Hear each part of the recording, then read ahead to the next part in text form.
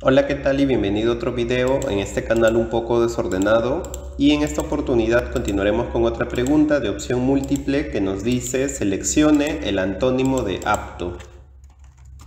Apto es alguien que reúne, ¿no? Reúne todos los requisitos, todos los requisitos o características para realizar alguna actividad, ¿no? Como puede ser un trabajo, una tarea, etcétera.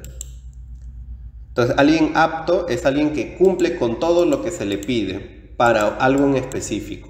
¿no? Bien, alguien solvente es alguien que tiene quizás solvencia económica, ¿no? Que, que, no tiene deudas económicas, pero también alguien solvente es alguien que reúne cierta cantidad de requisitos para alguna actividad. Entonces, muy parecido a apto, y estamos buscando el antónimo, o sea, lo contrario. Alguien hábil es alguien que tiene ciertas características para realizar alguna actividad. Tampoco. Alguien idóneo es alguien que calza muy bien para la que reúne los requisitos para realizar alguna actividad, ¿no? Alguien entre comillas perfecto para alguna tarea. Inepto. Alguien inepto es alguien que carece del conocimiento, que carece de las características, que carece de los requisitos para realizar alguna actividad.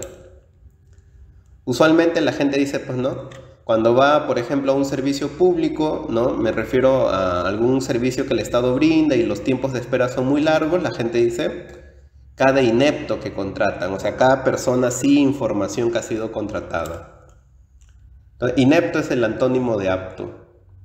Y preparado es alguien que tiene la, aptitud, aptitud con P, tiene la aptitud suficiente para realizar alguna actividad. Bien, en este caso nuestra respuesta sería inepto. Inepto es el antónimo de apto. Bien, espero que la pregunta y el video se hayan entendido, que sigas visitando el canal, que sigas encontrando más videos de tu preferencia. Nos vemos en una próxima oportunidad. Chau, chau.